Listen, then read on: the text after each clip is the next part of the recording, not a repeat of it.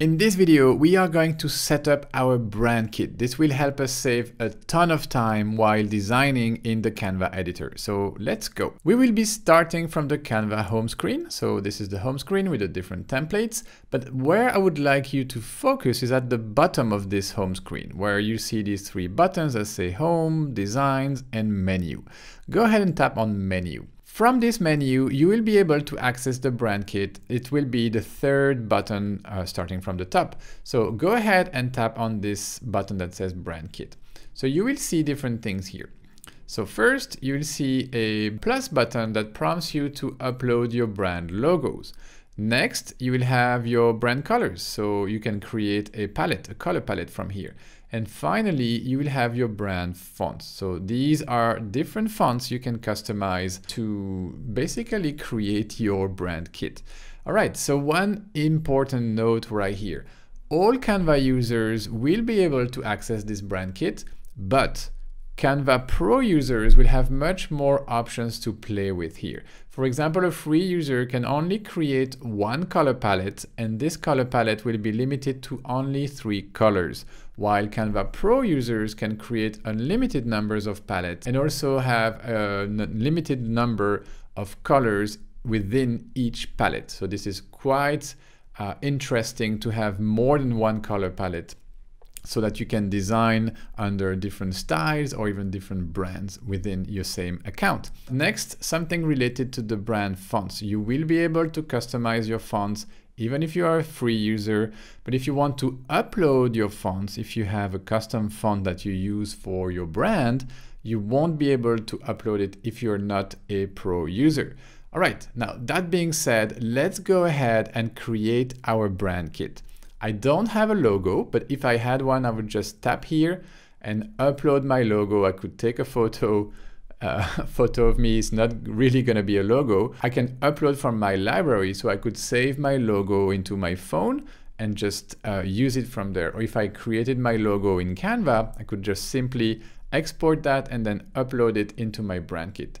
For this uh, video, I don't need a logo. I just want to have my custom colors and my custom fonts. Let's start adding colors to our palette by tapping the plus button. So from here, you will be able to do two things. One is to move the little circle right here and just position it wherever you want. You see the color is changing. You can also adjust kind of like the, the temperature here on the slider and then move the circle again. That's the manual way of selecting your color.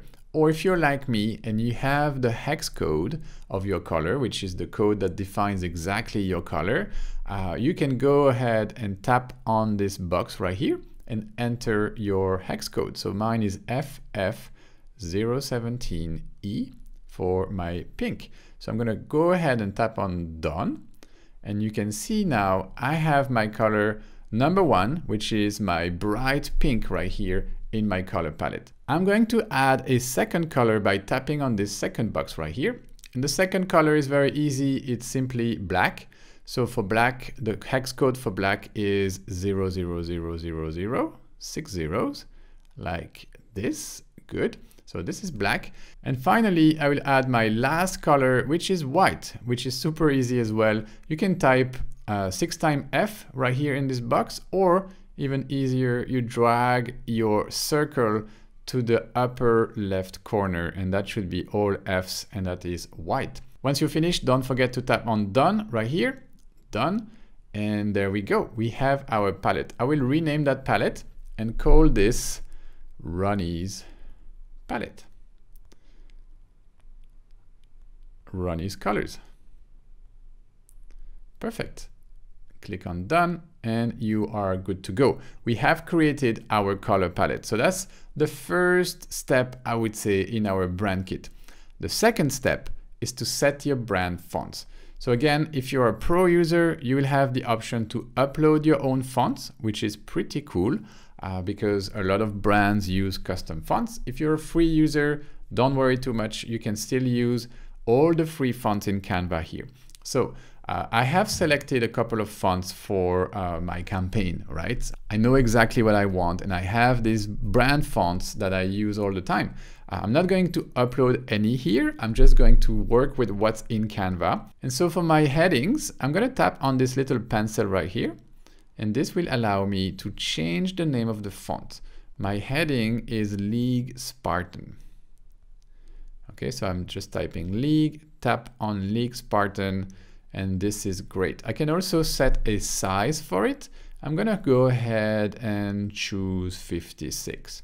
Okay, once I'm happy with this, I would just tap outside of this box. And last thing, we have our headings that is League Spartan in 56. Next is the subheading. So same, I'm gonna tap on the little pencil right here. And for my subheadings, I want a font called Radnika, Radnika Next.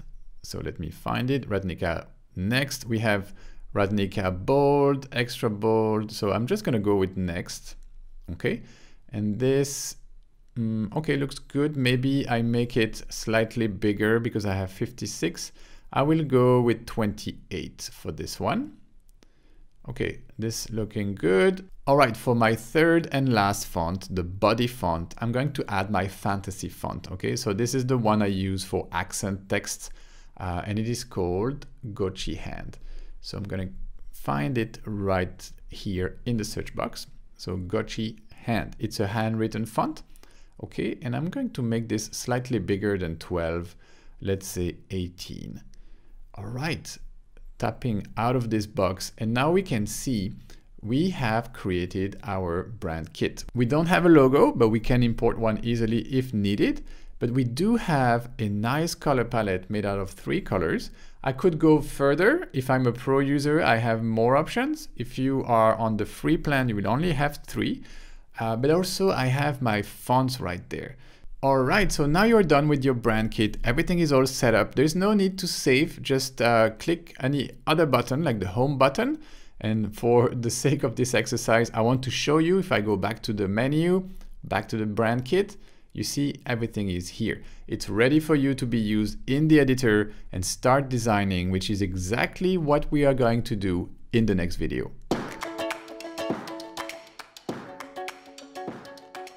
Keep your designs consistent and work faster by keeping all of your colors, visuals, and fonts in your brand kit.